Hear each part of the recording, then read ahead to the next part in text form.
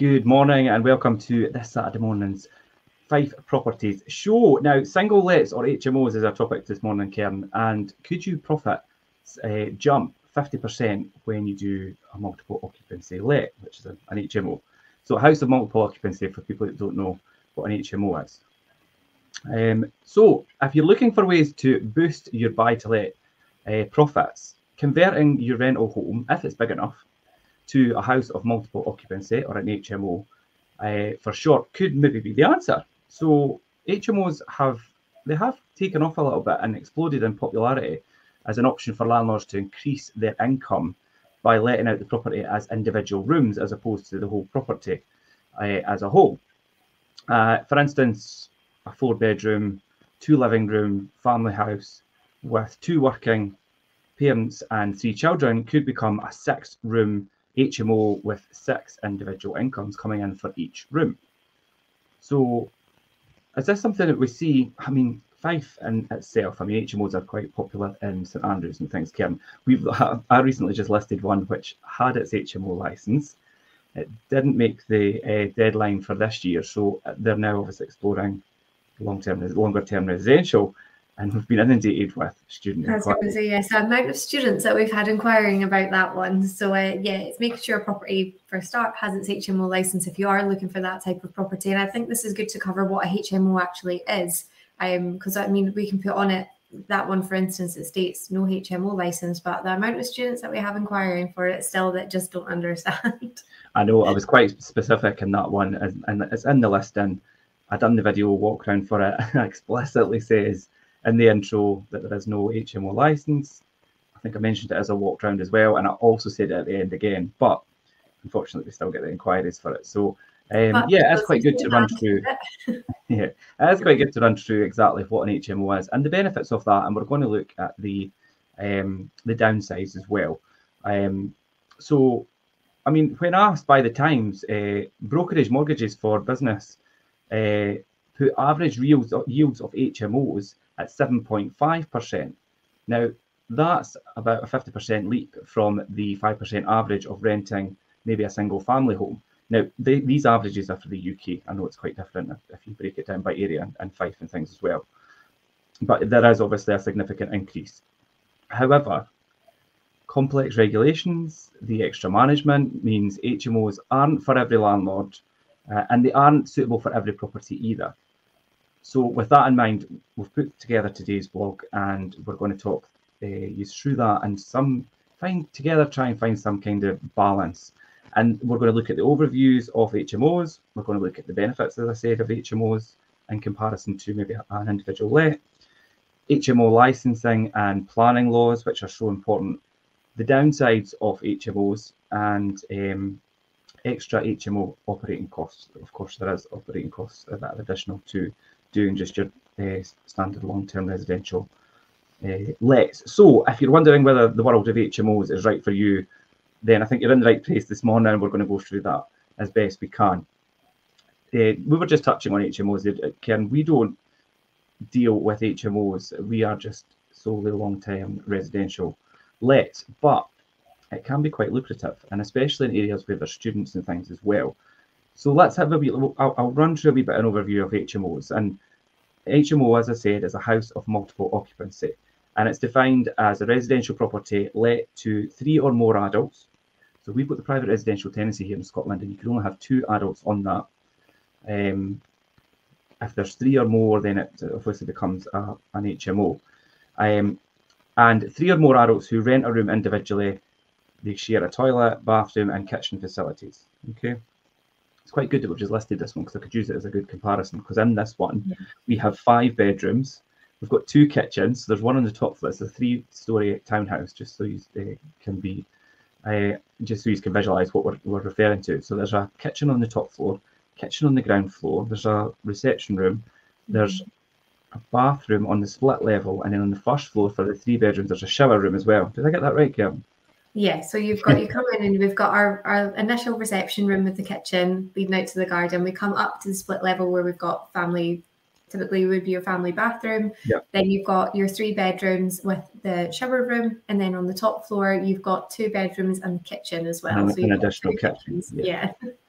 And so that is an ideal setup for an HMO. Uh, and as I say, it previously was, but we're doing it as residential now. So, but the best HMOs are near maybe major employment centres, uh, business districts, uh, retail parks, hospitals, and of course, obviously, students, uh, universities, and student accommodation. Um, high demand is really key if you're going to have an HMO. You need to have, like, and again, St Andrews is a great example because as soon as you do um, a listing for a property like that in that area, you're inundated with students because I mean there's just such a high demand. Um, but it's not as simple as buying just a large house anywhere. Obviously, bedrooms uh, for adults in the license for HMOs must be at least 6.51 metres squared. That's for one person, and 10.22 metres squared for two. Um, and there should be a communal bathroom for every four tenants. So there's a lot of things to think about there. You can't just think, oh, I'll buy a house with four bedrooms and do you know what I mean? You need to make sure of the sizing and what you're including in that and what facilities they have. Um, and while you can dispense with a shared living area, a living room, you must provide communal spaces for cooking and eating, and they need to be starting at 17 metres squared for four for a four-person HMO and rising up from there. So there is quite a lot involved in the HMO licensing. You do need to adhere to quite a lot of uh, things and make sure sizing and that is, is really important. And I think uh, as well, and, and looking at the overview of HMOs, finally, you, you need to have each tenant should have their own um, copy of the tenancy agreement covering um, what is included in the property. Um, and you also need to obviously be correct in what you're taking deposits uh, to protect them in the way of um, the deposits, uh, security deposit on the property and things as well. So you need to make sure that's all done correctly. We of course have the private residential tenancy here in Scotland. In England, Wales not as different. Um, I have spoke to a few agents who operate HMOs in St Andrews and things, and they are not as optimistic about how the PRT works with lettings for an HMO. In fact, they find it very difficult and they find it they don't find it's a suitable um, document to use. I mean, obviously it's a place and they use it, but it does throw up quite a lot of issues for them. Whereas when we do longer term residentials, I mean, there, there is changes from the short assured tenancy, but we tend to find that it does still work. Um, yeah, there's a, I can see it. It's very much tailored to like what we do, like residential lets, long term lets for that side of it. And I can see where there would be some flaws in the system when it comes to HMOs because you do have that every tenant is effectively their own tenancy as opposed to when we are doing it, it's either a single a sole tenancy or a joint tenancy. Yeah. So um, obviously it does make it a bit different when it comes to drawing up the lease for it. It's not just a lease with five people's names on it, for example. It's effectively five different leases that you're having to put in place when it comes to a HMO. Yeah, it, it, it's quite challenging, I have to say, and I've, I've heard that from people that do it um, on a daily basis. So um, yes, that there is some um, there is some downsides which we'll cover. But I was going to ask you, Kerin, do you want to maybe cover some benefits and things, and HMO benefits in comparison to what we do as a long-term single-let residentials?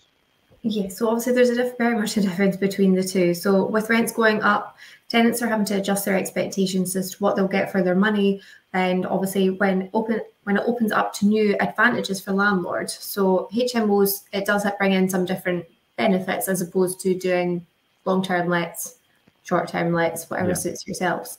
So it's an excellent market in for high quality HMOs that gives that would give you more income per room while giving a tenant a lower cost for renting an entire room. So ultimately, yeah. when it comes to HMOs, you're effectively getting a bit more for your money for a tenant potentially because you are renting a room as opposed to having to potentially get yourself a one bed apartment or a two bedroom apartment. You can just utilize yourself to that one room. So obviously, it does give the landlord different benefits for that side But. It's quite a good point you made there as well, because you're, you're saying obviously it gives the tenant a lower cost than renting an, an entire home. And we'll go back to St Andrews again, because obviously we're in Fife and HMOs draws me straight to St Andrews. Obviously, the the tenant now what we're saying for a room in St Andrews just now five six hundred pound possibly. Um, now you're not going to get a house or a, or a, or a, or a flat or apartment at that level you and especially not in St Andrews. So I think if you're getting it at the five, six hundred pounds per room, you've got everything included, you've got your uh, facilities and things as well. That's going to work out a lot more cost effective for a student coming to study in St Andrews than trying to find a home um, or, a, or an apartment or a flat just to accommodate them for the semester. So that's that is a really good point you made there. And in turn, it obviously will benefit the landlord as well because while it's a lower rent for potentially one tenant, when you have multiple rooms, all those lower rents all amount up, so you can make quite a good return on it between all the rooms adding up together. And also, yeah. as well, it makes it for a virtually non existent risk of your property sitting unoccupied as well. Because if you are letting the property on an individual basis, effectively per room, then you're going to have more of a consistent turnover as opposed to having one tenancy that moves out and you're having to find another one. You tend to have that more consistent flow of tenants for it when they are on a room to room basis. Yeah, definitely. I think if you're say, for instance, you've got maybe contractors and things in there, and, and they're not all on the same contract or the same job, or um, you know they're going to be coming and going at different times whenever their jobs finish and things. So you're you're always going to have um, some level of occupancy.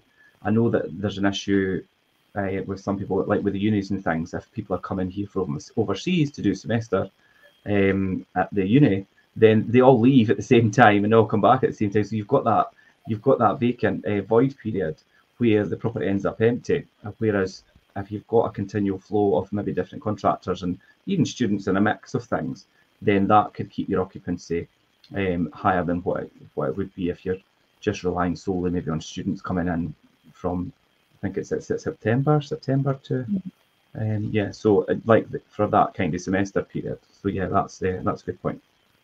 But the thing with it as well is obviously with the change in occupancy, it does mean there's an opportunity for more frequent frequent rent reviews as tenants come and go. So it means your income and yield can increase more often than with a single let. Yeah, that's a good point because you can you can obviously then realign um, rental amounts in between tenancies if, uh, and and new contracts being drawn up. So yeah. And for a landlord as well, we find that many HMO landlords operate through a limited company. So they can deduct 100% of their mortgage interest rate from the profits before paying tax. So it does make for a considerable saving. Yeah, so that's obviously tax deductible. Yeah, so that's another thing. Yeah. So yeah, there is there is there is a quite a few benefits to doing that, especially from a, a monetary aspect and and it being quite a lucrative venture. So it's not surprising that people are considering if they've got the right property to consider that as an avenue. Just with the way things have changed and and the the, um, the current climate and the private rented sector at the moment, people are trying trying to explore different options and think a wee bit more outside the box of what they're, what they're doing. And if you've got a property that's suitable for HMOs and maybe you have a really good agent who operates with HMOs or you or you do that yourself, then um, is an option to look at in terms of generating maybe more profits. As we say, could you push that up uh, to even 50% more than what you had as a single let? But to do that, you need to think about the licensing. So HMO licensing, planning, and safety laws and things are a really big thing. Um, the law of, for HMOs can feel um, a bit inconsistent between national and local authority policies because they do change slightly. But uh, here are some of the main regulations that you will encounter. Now, as I say, as we go across the country, these will slightly differ between local authorities and things. But um, planning classes are divided into C4, which covers small HMOs uh, of three to six people, um, and sui generis, uh, which covers large HMOs of seven and more. So that's obviously bigger properties. Um, so there is obviously the, the different levels where you've got a smaller property which operates only with uh, maybe a few people, obviously three to six, and then you've got bigger properties which would be seven or more. So that's quite a that's quite a considerable size property because even the one we're referring to in St Andrews wouldn't be seven or more people.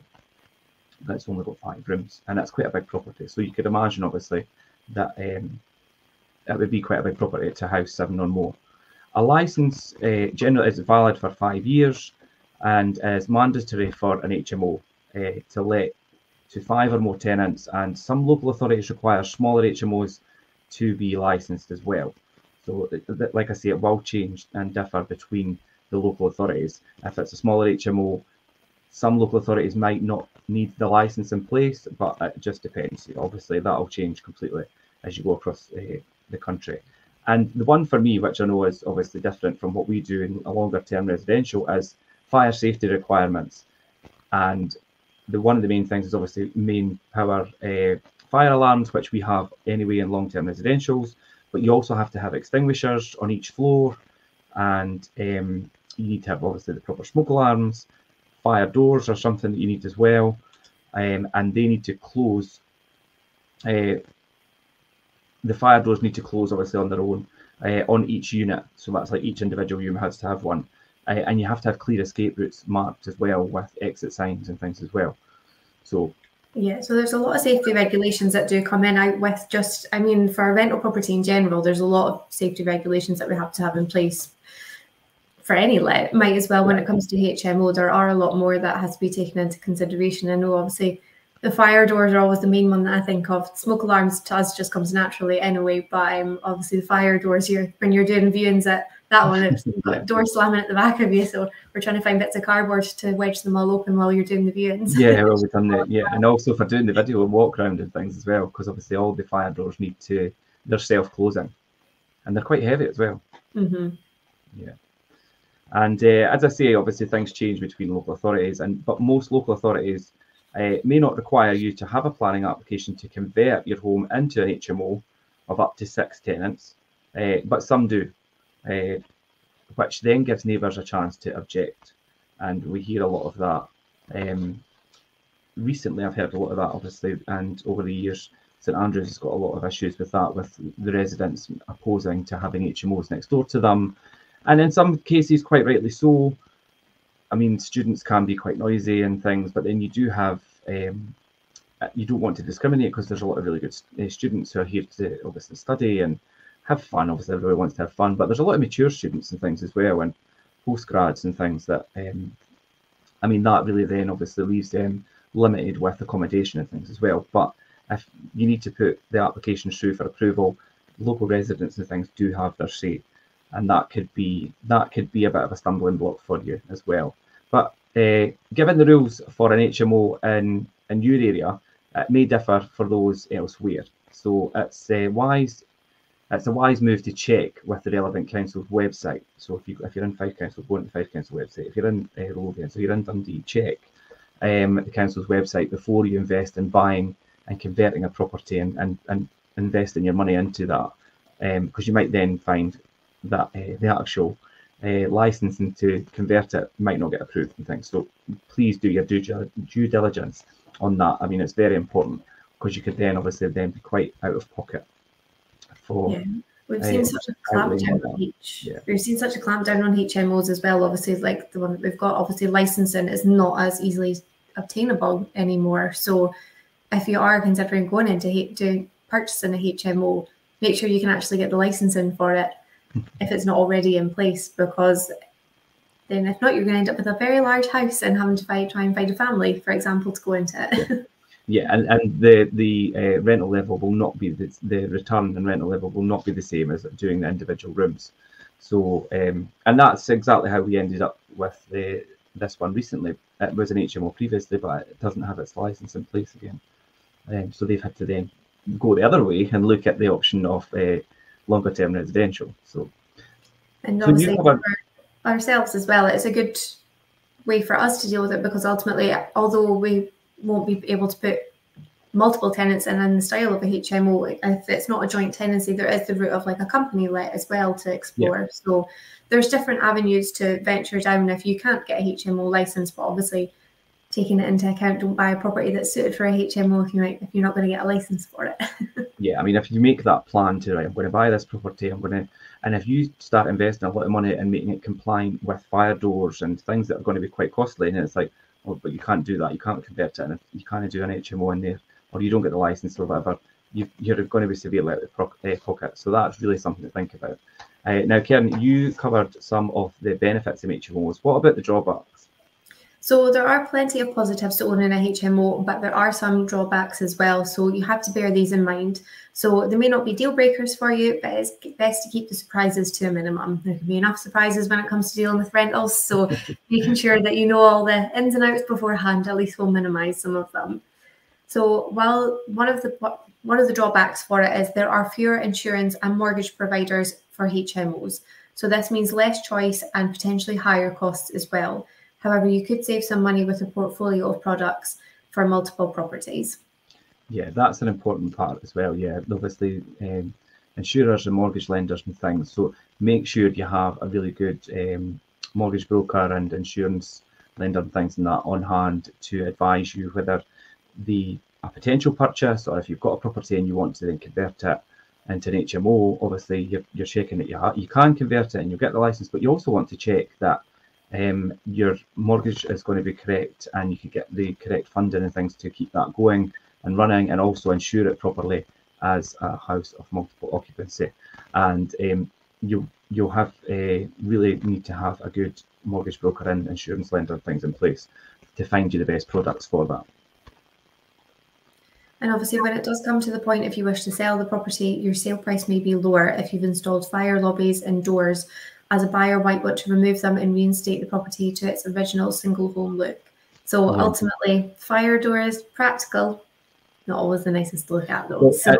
it's just that it's the flip side of obviously be careful about putting them in and then not being able to operate it like that because then you'll, you'll have obviously had that outlay for no for no reason.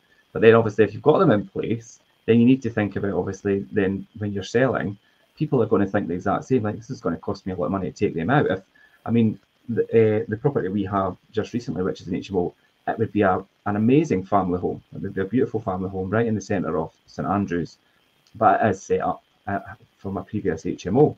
So there's a lot of changes you would have to make to make it into a home again, although it would be a lovely home. And that and and we even uh, had that discussion, Kerin, as well. This would be a lovely home, but you would need to obviously then turn it back around, and that would come at a cost. So yeah, definitely.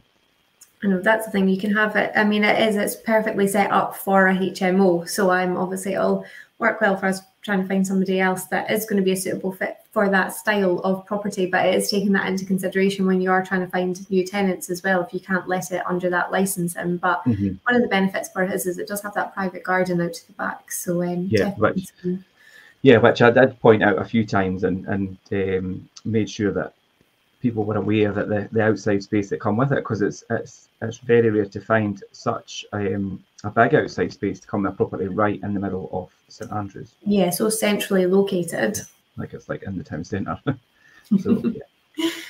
So although you'll have a higher turnover of tenants, this will mean that you'll have more money and time spent on advertisement, referencing, inventories, check-ins, checkouts, and agency fees. So although you've got obviously the property's compliance, you've also got all your general letting costs that you have to take into consideration as well with a high turnover of tenants. Let's talk about that for a wee bit because this I don't think it just applies to HMOs. I think no. people this is um, all lets. yes, with generally with all lets. Like what did you say there? Obviously advertising, uh, yes, referencing fees, yeah, inventories, the check out, the check in, the check out, check um, and obviously your, your management agency fees and everything as well. So, I mean, people forget about all these things, and these are all really important aspects of setting up a any let, whether it's an HMO, whether it's a res- just a long-term residential, and it is really important to have the proper referencing done and have a proper inventory in place. And and if you're you've got a good agent who's going to advertise it properly and and do video and do pictures and, and social media and things, then you know these are all and so there's an advertising cost as well. And then the actual move in and, and the the check in and then obviously checking them out and making sure the property's done properly and then the ongoing management as well. And I don't think people really understand uh, how much actually goes into managing property. And, and it's not just because maybe we do obviously uh, we've got a, a, a, bigger number of properties to look at, at, at even landlords who self-manage themselves will understand, even if they've just got one or two. There's a lot goes into just those one or two properties.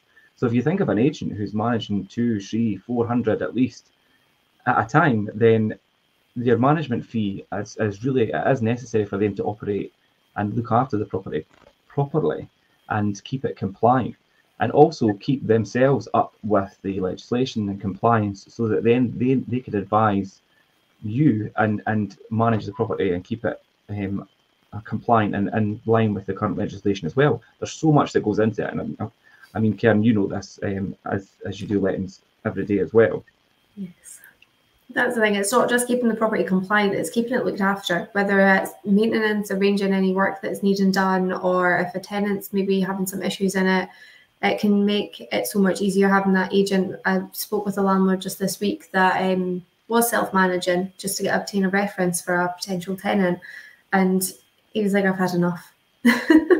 so it's just, and that was just two properties, but life is busy enough as it is, and it's just that impersonal side as well. So, um, for example, if you have a tenant that's having issues with their boiler pressure and they don't understand how to top it up, it's hard for a landlord to turn around and say, "That's fine, we'll I'll get it topped up, but you'll get charged for it." Because yeah. ultimately, it is a basic tenant responsibility topping up the pressure on your boiler if it's needed.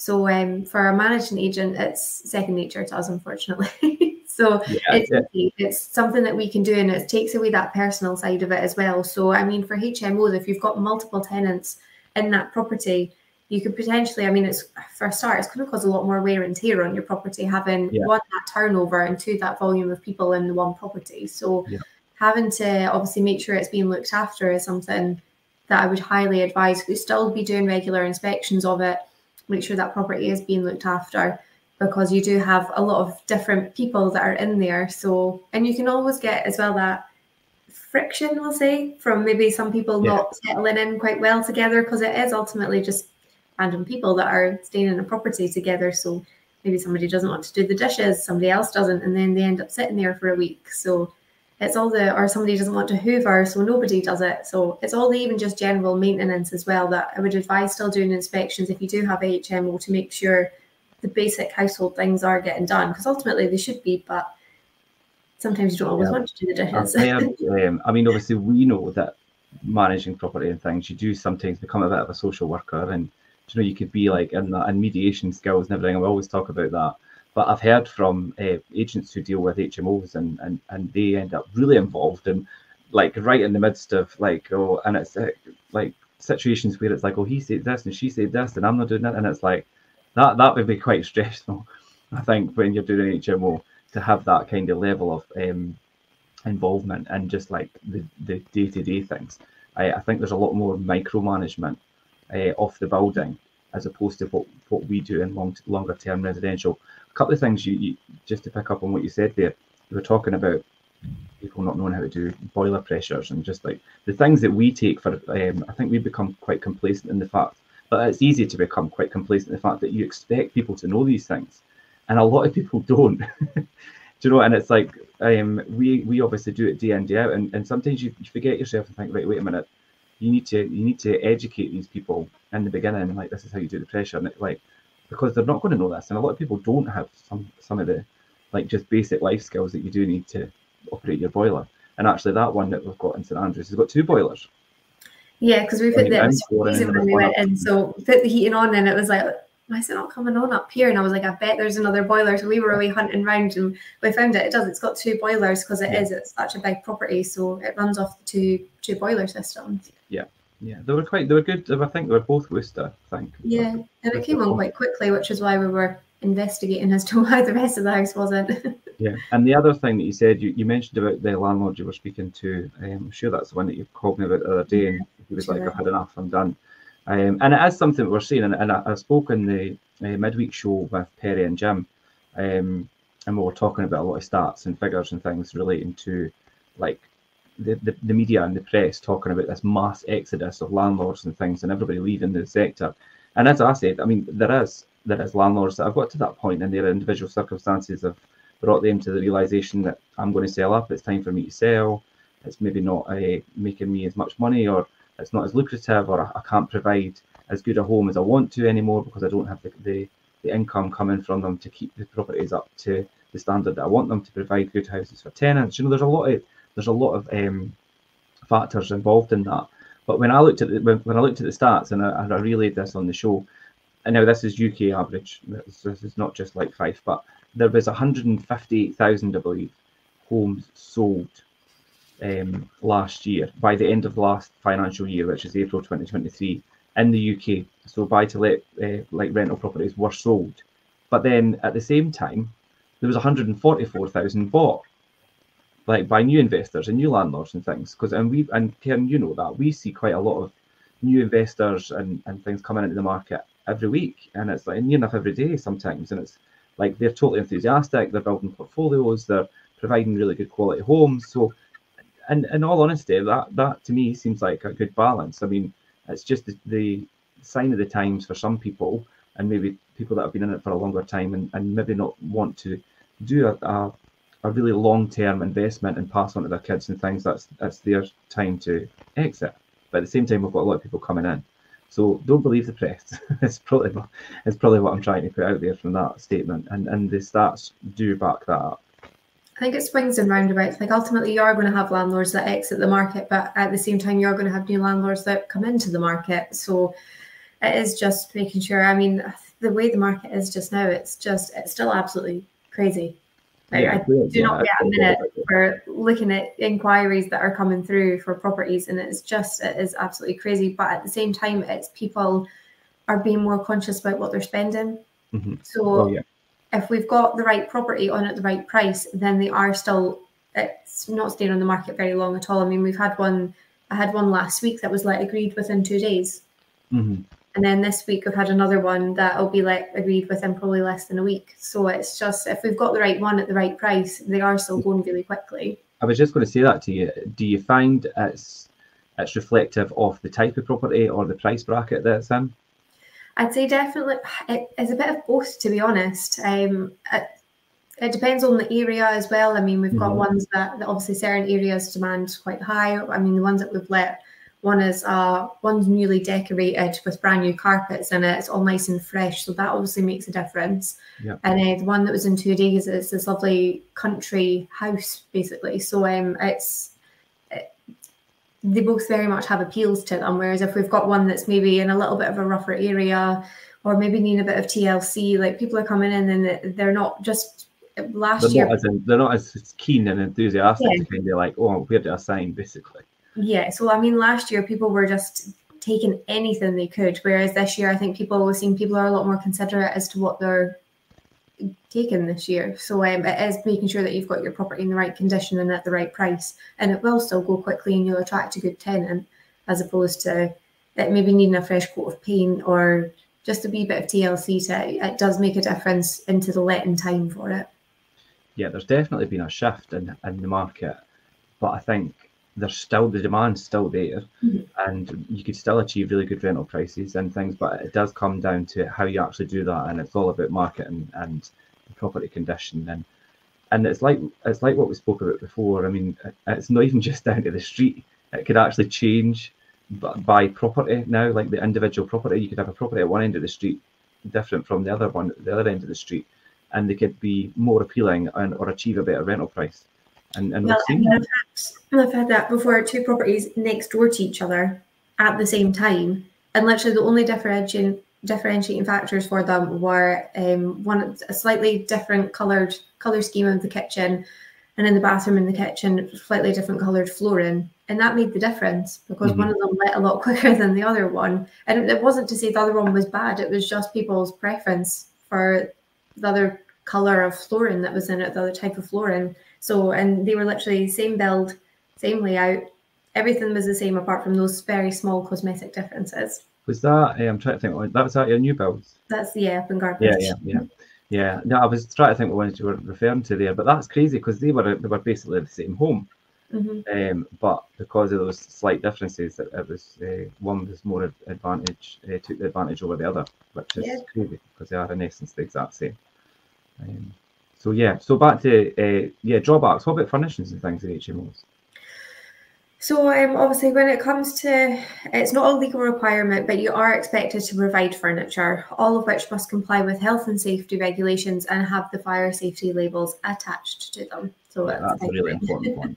Um, fire safety labels and things are so important. You also, I mean, it, it depends if you're, you need to kind of guide it to who your target audience is. So, for instance, if you've got students, you're going to want to have a desk and a chair for them to sit and study at. And then generally, you're going to have the bed and somewhere for them to put their clothes and things as well. Um, but then if you've got the, if it's maybe contractors, you're, you're guiding, uh, gearing it towards, then maybe a desk's not necessary, but you're still going to have to have a wardrobe and things. And then, and then, and then you could start to then think about like, well, TVs and all the rest of it. I mean, you don't have to do that. But I think if you've got it set up uh, to appeal to your target audience, whether that's contractor, whether it's students, whether it's you know I mean, whether it's a lecturer or whatever, that's going to then let the the room a lot easier. I was going to say property, but it's a room. Forget we're talking about HMOs. So it's going to let it a lot easier because it's going to appeal to your your uh, your target. Yeah, and I think when it comes to HMOs, I mean the expectation is for them to be furnished. I wouldn't imagine having one that's not furnished. I mean, you might still get ones that are like obviously rent a room, you have your own furniture for it, but I would say majority of the time it does tend to be that they are furnished. Yeah, generally, uh, generally with uh, residential, we say unfurnished.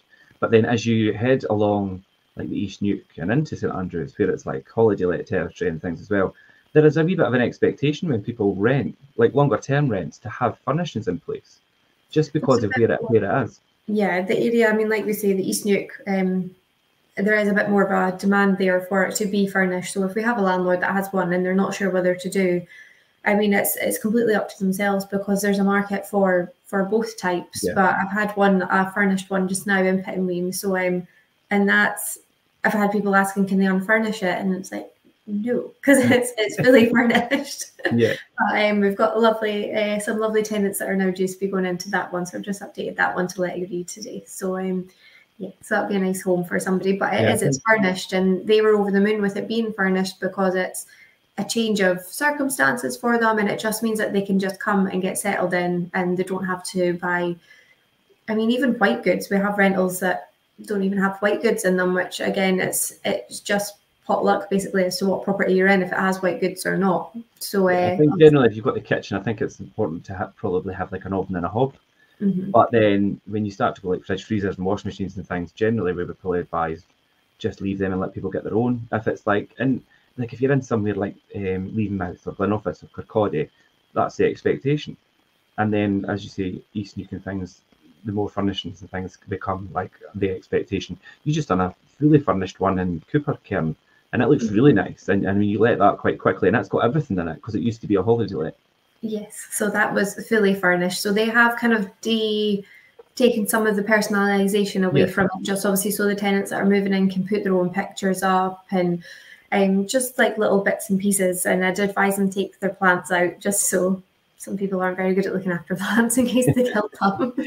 but she's like, I wasn't fussed, but they have like taken away some of the like more personal touches for it. So it was good beforehand because we got the pictures and I mean it looks lovely in the listing and it is lovely. So um, but obviously it's nice to have those little personal touches away for a tenant moving in. So they do still, although it's furnished, they do still have the scope to put their own items in place and just give it their own homely touch to it. And obviously it, it tends to make them last a bit longer out of a tenancy as well if someone feels at home in the property.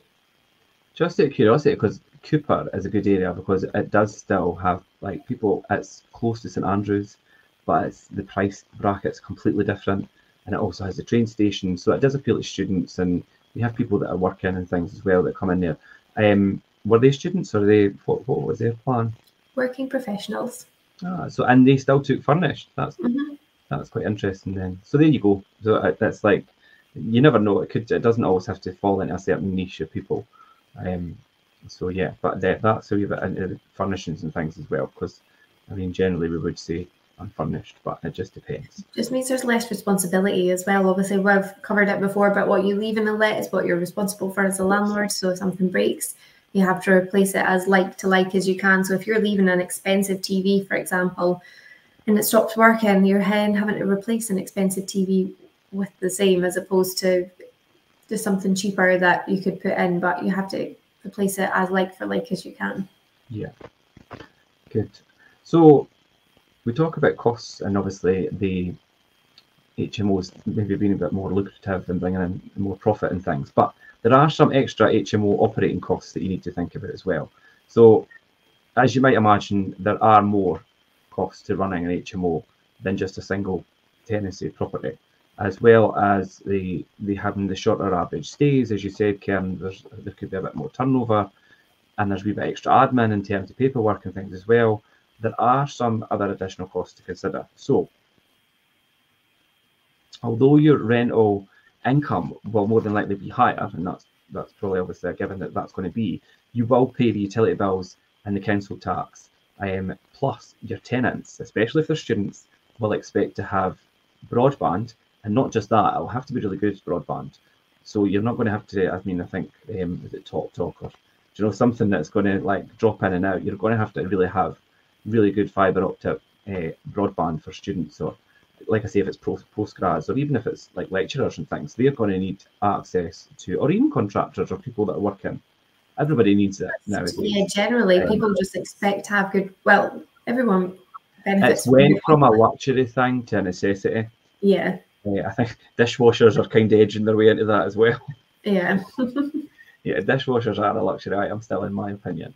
Uh, yeah, we don't have too many rentals that have got dishwashers. No, so when no, I'm doing viewings, I'm like, this one has a dishwasher. I appreciate I have, it. Uh, somebody say, "Oh, is there not a dishwasher?" And I'm like, "No, no. there's the sinks over there at the window." but uh, but yes, I mean, as slowly becoming a wee bit of an expectation from people, but we're a long way off that with dishwashers. But fast broadband internet connection is definitely one for people to operate if they're uh, for their work and just in general um, their personal day-to-day life. I mean, everybody needs good internet. So they're all things that you really need to remember to incorporate into your budget. Um, so think about utilities and council tax and and broadband costs and things as well. I think the utilities um, would put me off alone.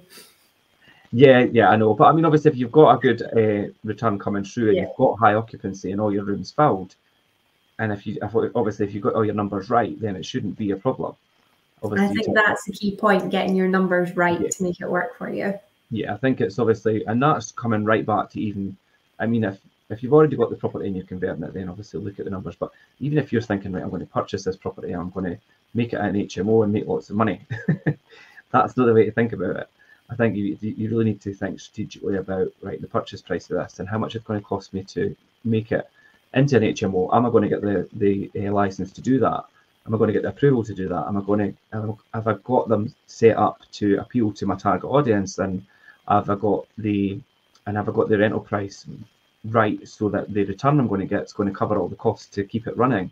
Do you know what I mean? There's a lot to think about, and having a good agent and, uh, like I say, a good mortgage broker and things like that on your side to advise you correctly is paramount. So, with no tenant responsibilities for communal communal areas, uh, you'll need to arrange and pay for regular, um, like the gardening and things as well. Um, it is ideally get a cleaner in there, but like you say, Ken, it's good to get um, the um, the all the occupants on side, and if they all do their bit, it makes it a lot easier. But obviously, communal hallways and things, um, and the external garden and things like the, the garden up at that one, you do need to have a gardener and somebody in place to to take care of that. I think that yeah, garden. that one's quite nice and low maintenance. I think it just needs yeah. a bit of weeding now and again. So I've gone for the chips and slabs. So, but it's still a good bit of space to have and nice and low maintenance. To be fair, though, I, I mean it is a low maintenance garden, and it was. But when before the gardener was in the other weekend, I think it hadn't been touched for a while, and although it was all, it's all paved and chipped and things, it, it, had become a wee bit overgrown. But I think it'd been left for a while. So, I, they're all things like if they're kept on top of, then they shouldn't be too much of an issue. Um, also, I think as as your property will be let out to multiple tenants on on on the, the, the individual tenancy agreements and things, you'll need to fit locks on every room that you rent out. Now, this is, I think, privacy is quite a, a big thing. You need to make sure that each individual has their own lock on their room and they've got their own security and their own privacy and feel safe in the in, in their room as well. That's a really important thing. Yeah, I think just to give you that privacy and, like you say, that's a sense of security as well, because ultimately you could be living in a house with multiple strangers that you don't know. So having that safe space that you can have your privacy and your security in is obviously a, a key point for it. Yeah, yeah, and I think if people are are exploring the option of doing an HMO, I think on the upside, room rents have risen, um, and the number of HMOs have started to increase across the country, not just obviously here. And then more letting agents and things have decided to start managing them. um, not us, not yet anyway. Um, and then that gives people a lot more choice in terms of who you could entrust to actually look after and manage the building for you. Because to manage an HMO as a landlord on your own will be a lot of work. So have a really good agent who knows what they're doing. Um, I know a few locally uh, that operate in St Andrews and things who are really good and have done it for years and, and they know what they're doing. Um, so I mean, it, it will pay dividends to have the right people looking after it for you. And I have seen I have seen other agents uh, start to dip their toe into HMO, and it has become a lot more um, of a common thing for agents to start exploring because landlords are now obviously turning their their uh, their views to HMOs because obviously, like I say, they're starting to think outside the box. Things are changing. It's like, what could I do? And if you've got a big property and you think it's got potential to be an HMO, then it's worth exploring. Definitely. Is it something you see a lot of, Kerin? Or? Um, I think, as you say, primarily in the St Andrews area, um, obviously it's something that landlords look to explore. Just the fact that you've got the students there for it, and there are quite substantial houses up there as well. So um, obviously it does benefit them if you do have a student, and it can be quite a lucrative return for it. But definitely making sure you're in the right market to do so. Obviously, around here it is a lot of long-term lets, uh, primarily that we have in the Fife area. So, um, but say St Andrews is different. So yeah, uh, St Andrews also. I mean, they put the they put the uh, the ban on any new applications for HMOs and everything and that was in place, and and also um, if you are applying for an HMO in places like St Andrews, then you're going to have you're going to have a wee bit of uproar from residents because I know that there's been a lot of opposition to certain ones uh, over the years and things. I've, I've heard a few stories. So, uh, and and some cases the, residents are right, in other cases you might not agree, and it, it's just it's one of the things that comes with dealing with HMOs, unfortunately, because residents will ultimately uh, they'll just think, oh, I'm going to have a load of students next door to me, they're going to be partying all weekend, or do you know what I mean? And it's not always like that, but obviously you run there is a risk of that kind of being the eventuality uh, if the wrong people are put in place as well. So I mean, it's it's fine if you've got such a in an area like St Andrews where you've got such a high demand for students, you could you could really pick all the best ones. But then it's then you think, God, well, where does all the rest of them go? Totally displaces them. And last year we've seen a lot of that, and we had uh, we had stories that there were students having to board in Dundee and then travel, which isn't too bad. And then some that were having to actually postpone their studies completely because there was just not enough accommodation, and they were having to roll it on to this year. That was last year. Um, but then that's going to have a knock-on effect as well because they're, then they're going to be coming back this year on top of the, all the other students, and then so some of them are going to have to then postpone their studies to the following year, and that's just going to have a continual knock-on effect, in my opinion. So something needs to be obviously done about that. So and and and as we know from the inquiries we've had recently, there is a lot of students looking for lets in the St Andrews area at the moment. So, any final thoughts, Kim? I think if you are looking to venture into HMOs, obviously check the regulations surrounding it. Make sure that you are one getting a property in the right area, that there is a demand for it, and two that you'll actually get a HMO license if the property that you're potentially purchasing doesn't already have one in place. Yeah, definitely. So I mean, if you do, if you do have a property and you're wondering, is owning maybe an HMO right for you? Feel free, come back to me. I put my direct number, my email, in the blog attached to the post. Feel free to come to me and I will give you any advice I can or point you in the right direction of somebody that uh, can advise you and whether that is a mortgage advisor, if it's a good insurance broker, or even just if you want in general some feedback on um, HMOs in general. Now, we don't operate HMOs, but I do have a lot of um, insight into how they, they work, and I know a lot of good agents who could um, could help you do that if it's something that you're, you're considering as an option. And that's us, Kerin. So thanks very much for joining me. Thanks very much, everybody, for watching. And as I say, any questions, you could pop them in to me directly or put them in the comments if you're watching this on the rerun. And um, I'll come back to you as best I can. And until next time, I'll see you later. Bye.